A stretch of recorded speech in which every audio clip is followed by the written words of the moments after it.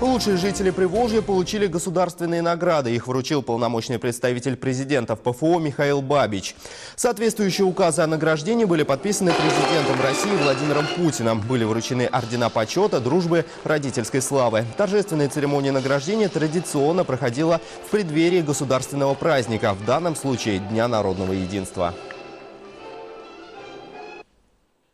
Это награды, которые, э, которые подписаны президентскими указами и, по сути дела, выполнение поручения президента Российской Федерации. Поэтому, конечно, с одной стороны, очень ответственная миссия, почетная, но очень волнительная.